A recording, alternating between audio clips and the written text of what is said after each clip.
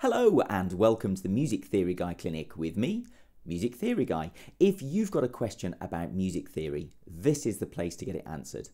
If you want to get in touch, please send me an email to clinic at musictheoryvideos.com.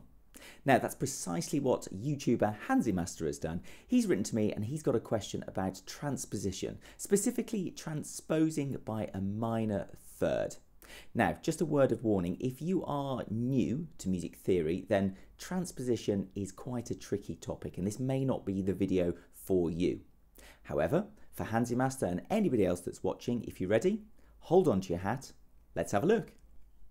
Okay, so here's a very typical example or question you might come across in a music theory exam. Transpose the following passage up a minor third so that it will sound at concert pitch when played by instruments in A. Now, one of the reasons that transposition is so tricky, as I mentioned a few moments ago, is because you need to know about other music theory topics before you can tackle it. So what I recommend that you do is if you're not sure about transposition is have a look at my main lessons. First off, intervals. You have to know how to work at intervals before you can look at transposition. The other video that you might want to have a look at is accidentals and semitones. It's always very useful to have a refresh of what's meant by a sharp or a flat, or in even more complicated scenarios, double sharps and double flats. So do have a look at those other lessons, my main lessons first if you need to. Now, there's a number of rules that you need to follow when working out transposition. Number one, make a note of the direction and distance. If we look back at our question, transpose the following passage up a minor third. So the direction is up and the distance is a minor third. Now, I always, always recommend that you write these terms down. It may seem pretty obvious because it's written in the question, but you would be amazed how many times over the years I've come across students who have gone the wrong direction and by the wrong distance. It's always very helpful to write these terms down and keep referring back to them as you work out the answer to the question. Secondly, work out how many semitones make up the distance. Now, when I say semitones, some of you may have come across the term half steps instead. The two mean exactly the same thing, but from this point on, I'm going to say semitones rather than half steps, purely because that's what I'm more used to. Now, to work out how many semitones make up that distance of a minor third, that's where you need to have prior knowledge of intervals. If we start on our keyboard, I'll highlight the C, we know that a minor third up from the C is an E flat. We count how many semitones it is from that C to the E flat. So it's 1 to the C sharp or D flat, 2 to the D, and 3 to that E flat. What we do now is where we've made a note of the distance being a minor third. We're going to change it very slightly and we're going to change it to three semitones equals a minor third. That's very important and we're going to come back to that in just a moment. The third rule we need to follow is transpose the key signature. We can see that there are two sharps in our question and I've highlighted them red. Now, this is where I point out that there's another music theory topic that you need to know about for transposition, and that is key signatures. Have a look at my main lesson, my other video on key signatures if you need any help with this. Now, with two sharps in the key signature, it could be either D major or B minor. For transposition purposes, it really does not matter which one you choose, and I'll prove why in a moment. Let's have a look at D major to start with. You can see that I've highlighted the D on the keyboard at the bottom of the screen. The reason it's D is because we're looking at D major.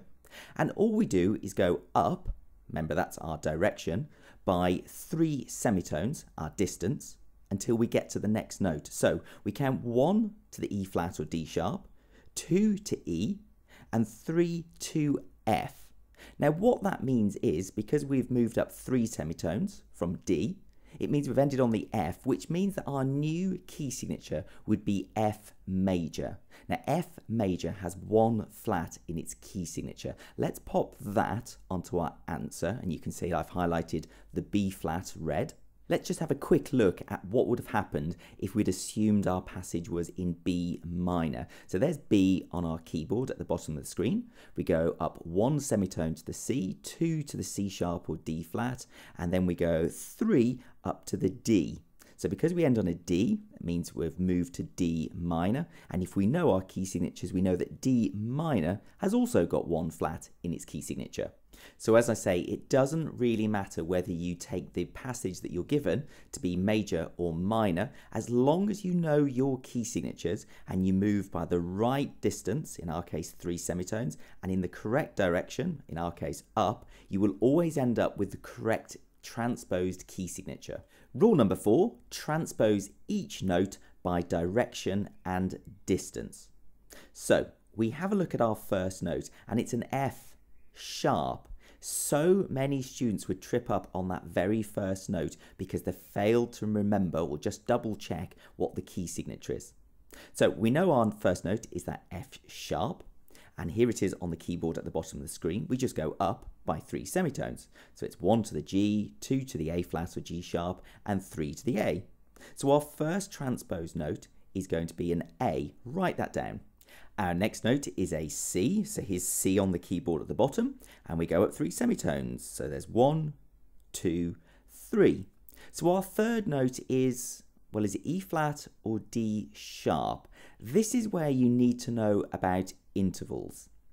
If it were C to D sharp, it would be a second, and that would be incorrect. Remember, we're being asked to transpose up a minor third, whereas C to E flat is a third.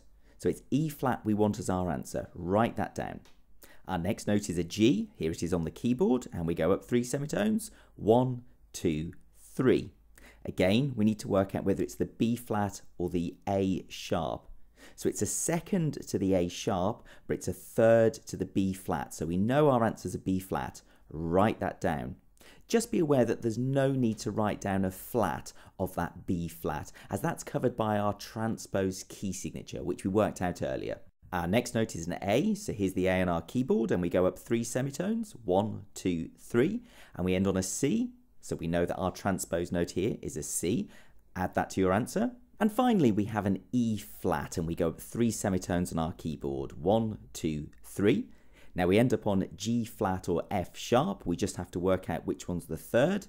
It's the G flat, so we add this to our answer. So here's our completed answer, but we have been through an awful lot of steps to get here. As I say, if you need to, have a look at my main lessons if you need any help with anything we've covered in this video. So key signatures, intervals, accidentals, and semitones. They are the key to unlocking this transposition question.